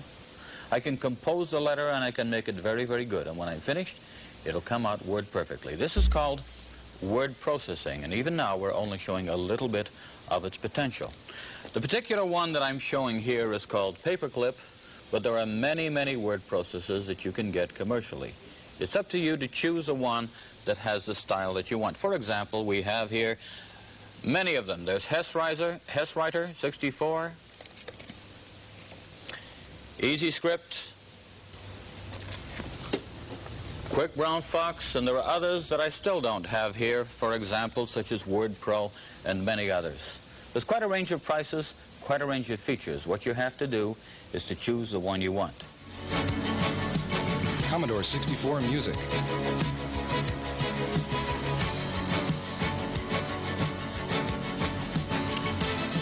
Some good music can be played by the Commodore 64. It has a built-in chip which is called a Sound Interface Device, the SID. I think Commodore planned to call it the Sound Interface Chip until they thought of how it abbreviated. Then they decided on Sound Interface Device. Now it does a lot of good things and you've heard some of the sound effects and music played during the games. I'd like to show you how some of that happens. We won't talk about the special sound effects. Those can be done by any old chip. I'd like to talk about music. That's where some of the quality of the SID chip really comes out. The first thing that we should talk about in music to understand waveforms, to understand how it works, is waveforms. That's the basic sound that any instrument produces. It might be mellow, it might be sharp, it might be thin, it might be brassy, but every instrument has a certain waveform. Now, I've set up the computer so that it will play the next few notes rather like an organ. That is, when I hold down a key, it will play the note. When I let go, it will stop immediately. And so what we're going to do is concentrate on the waveforms we can hear. The first waveform I have here is a triangular waveform. That's soft and mellow. It's the sort of sound you might hear from a flute. Let's listen to the triangular waveform and hear its mellow sound. Pretty good. Pretty soft, right? Not all instruments sound that mellow, however. Sometimes we want a little edge on them. Sometimes we'd like to have a bit more harmonics, as musicians call it. In that case, we might choose another waveform called a sawtooth waveform. Now, a sawtooth waveform, as you might suggest from the name, has a bit of an edge on the sound. It's much sharper, and in some ways, it's much richer. Let's listen to a sawtooth. Sounds quite different, doesn't it? And yet that really isn't the whole combination of waveforms that we can use for instruments. There are several others in there too. Sometimes instruments have a rather thin and perhaps reedy sound to them.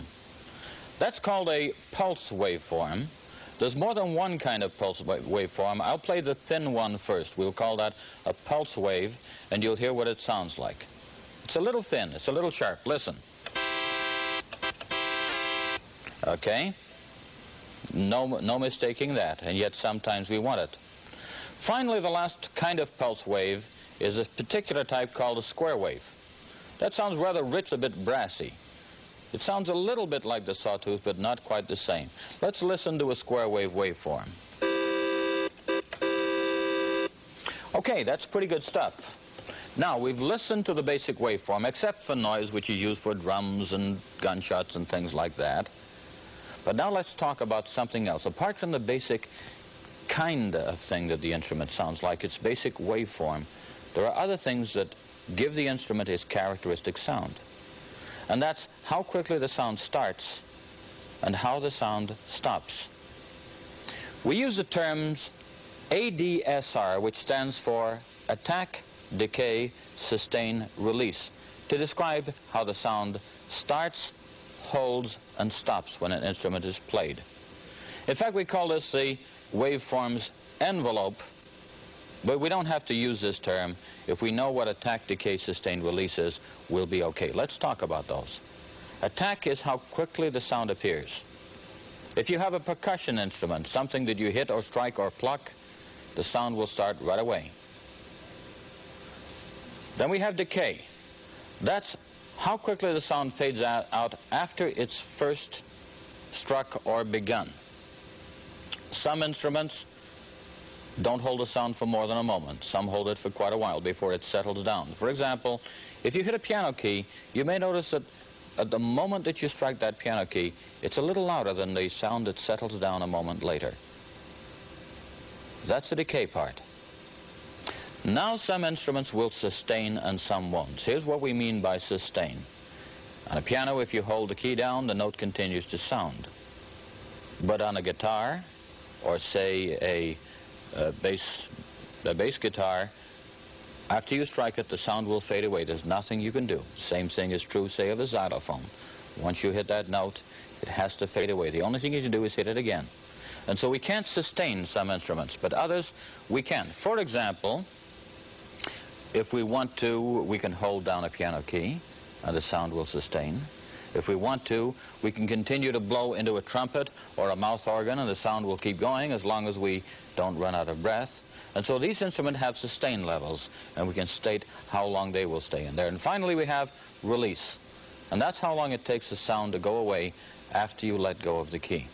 You may have noticed that when you let go of a piano key, it still sounds for a moment afterwards. When you stop blowing into a trumpet, there's usually a little bit of sound left over. Let's use some of those principles on the waveforms we've already listened to and make certain kinds of instruments. For example, our first waveform is chime-like. We'll use a soft, mellow, triangular wave, and we'll make it start immediately. When you hit a chime, it starts to sound right away. But then we'll take, give the sound a long time to die away. We'll give it a long decay and release. Here we go. Listen to the mellow chimes. Okay? Recognize that mellow triangular wave in there? And yet, we've changed it completely by adding an attack and a fadeaway cycle to the whole thing. Now, sometimes we want to do exactly the same kind of envelope, attack very quickly and fade away rather slowly, but we don't want that mellow waveform. If we struck a guitar, the waveform would be much sharper. A guitar has a sharper sound. Let's take the sawtooth wave, the one with an edge. And let's play that through exactly the same attack, sustain, decay, release envelope and see what we have. Here's a guitar. Listen to the difference.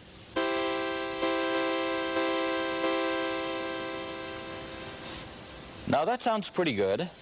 Perhaps sometimes on some struck instrument we don't want to hold it quite as long as we've shown here. For example, a banjo, the sound doesn't hold as it does in a guitar. It fades away rather quickly. And so perhaps we could once again change to the rather thinner sound that a guitar would, that a banjo would give us and say, and let's have a fairly fast release, a fairly fast decay on this one. Let's listen to how the sound would change. We're going to the pulse waveform, and listening to a fairly fast attack and a fairly fast decay and release. Here we go. Once again, it's different. The envelope makes quite a difference. Finally, all of the things we've talked about so far have been fast attack, instruments that we strike, percussive things, things that start to sound right away. Other instruments take time for the sound to build up. For example, a trumpet, a mouth organ, or even when we're bowing a violin, it takes time for the vibrations to reach full strength. On those, we want a slower attack and perhaps a medium, a medium sort of sustain to hold the level as long as we want to. Let's listen to the difference. I've set up a square wave for the bold, brassy sound of a trumpet, and I've set a moderately slow attack. Listen to how the sound comes in, and a moderately fast decay. Listen to it fade away. Here's a trumpet. Do you hear the difference? That's the way that we can put forth the basic waveform, which gives us our music quality, soft or rich or mellow, together with our envelope, which tells us how quickly the sound appears and disappears to give ourselves a real musical thing. Now, we've been playing three notes, but we've been playing them all with the same instrumentation. Let's play a little tune here. Okay, let's play a little tune here which uses three different instruments, a bell-like or chime-like uh, instrument to carry the melody, something sounding like more like a mouth organ to carry the second piece, and down in the bass, there's probably a big bass guitar or something that sounds like that. Let's listen to a little music here.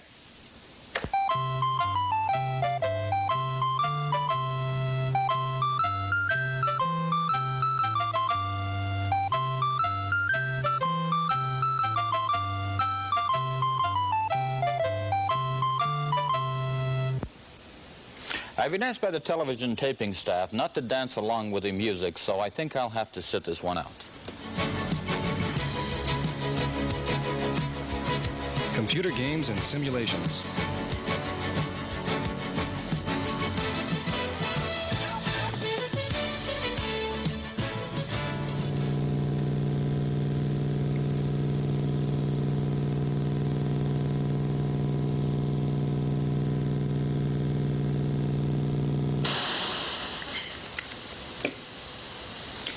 Games are a lot of fun.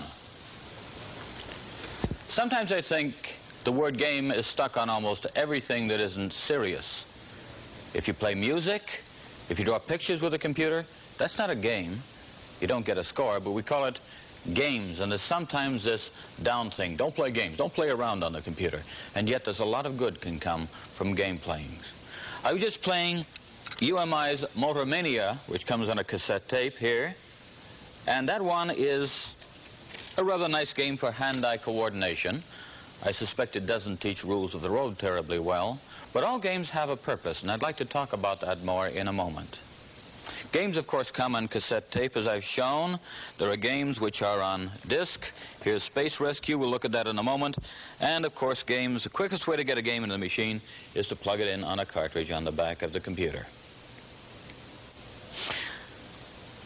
Let's take a look at some more games. They show off the computer very, very well, and it's often the best way to assess a computer's graphics and sound features. I load Space Rescue into the computer.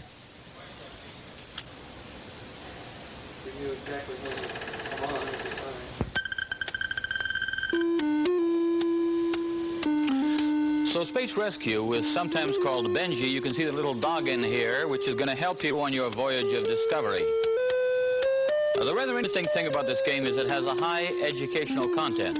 It also has a lot of rules. You'll need the little book to go with it if you want to do it. Let's go and take a look at the objective of the game by indicating in our joystick what we want to see. Space Rescue. We'll pick a rank for Benji. We'll make that fairly low for an easy game. A lot of instructions here, but let's get straight to the game. Now, we're ready to play and the first thing that we know is that we're supposed to look around and look for lost scientists and bring them back to Earth, and that's okay. But I'd like you to look at the educational content of this game. Let's take a look here.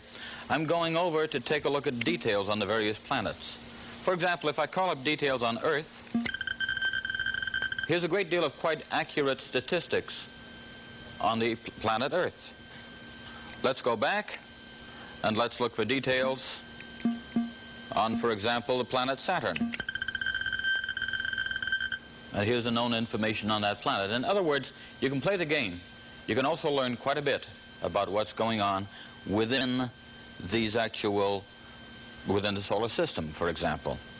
Okay, we'll very simply do a little bit of traveling around among the planets, uh, looking for our scientists, but we certainly won't play this game through. Let's go back and let's say to the engine room, okay, here's an engine room report, and we would like to go to, why don't we go to Jupiter, and here we go, and let's do it. Off we go. We're on our way to Jupiter.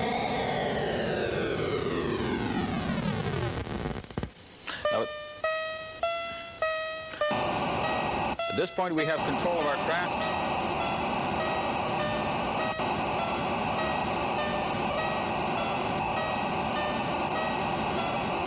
Down we go to the surface looking for our scientists.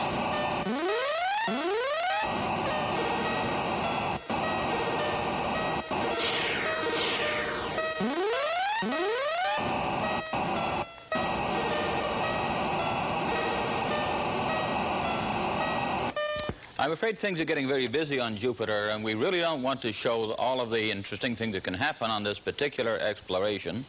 What I'd like to point out, however, is that much of this kind of game and many other games are based on a good deal of useful information.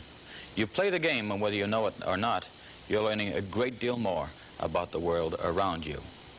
Now, beyond games, there's a closely related kind of program which is called a simulation, which actually attempts to imitate something, perhaps a solar system, perhaps a microcomputer chip. And those can be very useful in education and for other things. I'd like to turn to another program, and I'd like to show you the COCO program, which simulates the inside of a microprocessor. Let's take the COCO program, also by HES, and let's put it into our computer. I'd like to show you some of the parts here. Once again, an instruction book. We're simulating a large fictional computer. This is an interesting thing. This plugs into the joystick part. It's port. It's part of a security connection, sometimes called a dongle, and that will make sure that you're an authorized user of this package. Let's plug it in where the joystick goes, and very soon we'll be ready to load in the COCO program. Here we go.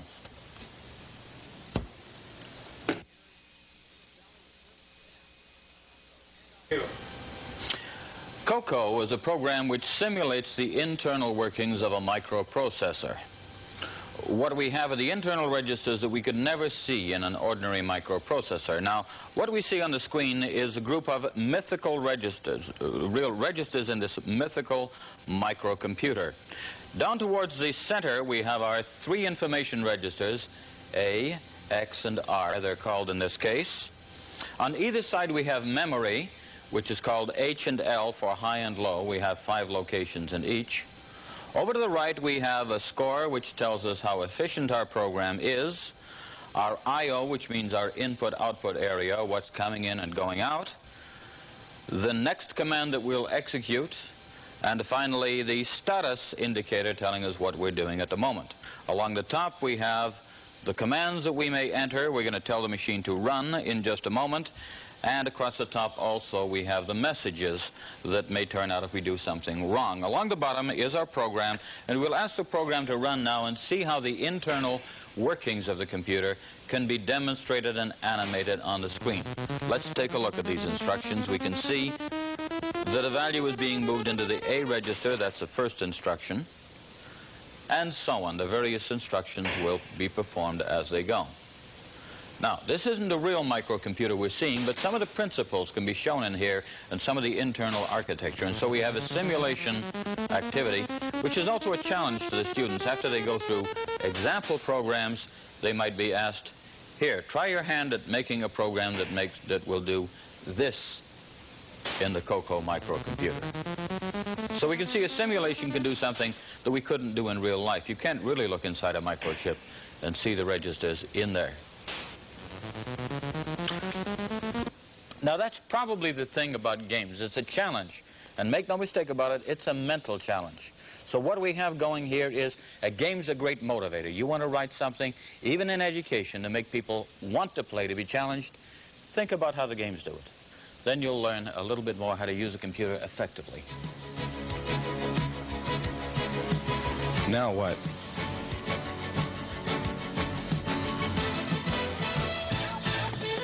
We've had a chance to see some of the things you can do with a Commodore 64.